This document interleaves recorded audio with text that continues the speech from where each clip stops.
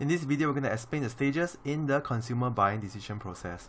So what is the consumer buying decision process? It is a five-step process used by consumer when buying goods or services. So unconsciously, in terms of all of us, when we make a purchase, we will go through in terms of these five steps with regards to the consumer buying decision, starting from need recognition, information search, evaluation of alternatives, purchase decision, and the post-purchase behavior. So we will run through them in the following slides, starting with the need recognition. So in the case of need recognition, the consumer recognizes that they have an unfulfilled need as a result of an imbalance between actual and desired state. So you are hungry and you desire to have a complete meal to feel full. So in the case of recognition of needs itself, it can be triggered by internal stimuli, such as physical needs of hunger and thirst, or external stimuli such as packaging or advertisement. So think the last time perhaps maybe you were at the bus stop, you saw a bus ad, that bus ad itself would have influence in terms of the way you make a purchase. Following which, you have what we know as information search. This information search, the aim of it is to satisfy the recognized need. The information search can be internal, stored in your memory, or in terms of external search from the outside environment. So the case of internal search itself, we're looking at products usually that you purchase on a frequent basis. Uh, on that itself, perhaps maybe a snack, a meal, and on that itself, you will actually use a past experience in terms of internal information. Compare that in terms of buying the laptop, especially your first time. This will look at in terms of external information search. You look at in terms of perhaps the product attributes, you ask your friends, you search online, and on this itself is part of looking at external information search. So when do you use external information search? You use it especially in the cases where there's a high risk, where in terms of your little knowledge of the product, little experience with the product, and in terms of a lack of confidence in the purchase itself. This is where you start seeking for information, be it through friends, family, or online for more information. After in terms of information search, you have what we know as the evaluation alternatives, whereby with the information itself, you actually produce what we know as a evoke set, which are the consumer's preferred alternatives. So think in terms of again to the laptop, the last time perhaps you want to purchase a laptop, a couple of brands will come to mind. Perhaps maybe HP, Dell, Apple. These are what you call as part of your evoke set for a laptop itself.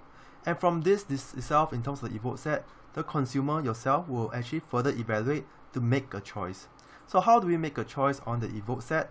We will usually analyze the product attributes. So we look at in terms of, in the case of a laptop, the memory space, the RAM, we look at in terms of the size of the laptop, the weight of the laptop. We rank them by attributes by importance. So if you're using for it for gaming, perhaps maybe the graphics cards is important to you and you rank it higher. In the case of cut-off criteria itself, most of the time we will actually look at price. So if it's beyond your budget itself, this may be a cut-off criteria in terms of how you make the purchase. Following in terms of making a choice, you have then make a purchase decision. So after you evaluate the alternatives, the consumer makes a decision on the purchase. Making a decision itself on the purchase, there's a very many in terms of options. Things like in terms of whether to buy, a yes or no, when to buy it, what to buy in terms of the brand, where to buy it. Is it in store? Is it online? How do we pay? Be it in terms of cash, credit card, or these days we have in terms of other forms of mobile payments like Grab. So on this itself, the purchase decision is something that the business need to take care of because this is the point whereby the consumer finally decides and want to make a payment for it. Next up, we have what we know as the post-purchase behavior. This post-purchase behavior comes after making the purchase and on this itself, consumer expect certain outcomes from the purchase. Recall from our earlier video, we talked about in terms of expectation and the perceived value. So the larger the gap between in terms of the expectation and the performance, this will result in terms of greater the consumer dissatisfaction.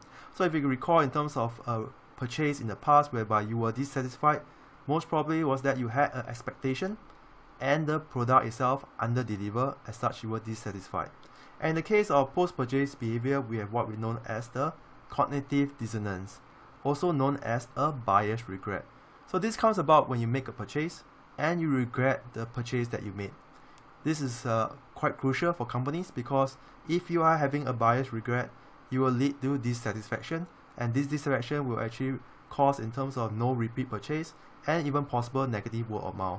So on that itself, the post-purchase in terms of customer satisfaction is important and how companies try to reduce the cognitive dissonance in customers is through in terms of guarantees, warranties, uh, follow-up calls with the customer to ensure that they do not have in terms of the buyer's regret and to overcome it. So on that itself, we summarize in terms of the stages in the consumer buying decision process, the five steps from need recognition all the way to post-purchase behavior. I see you in the next video.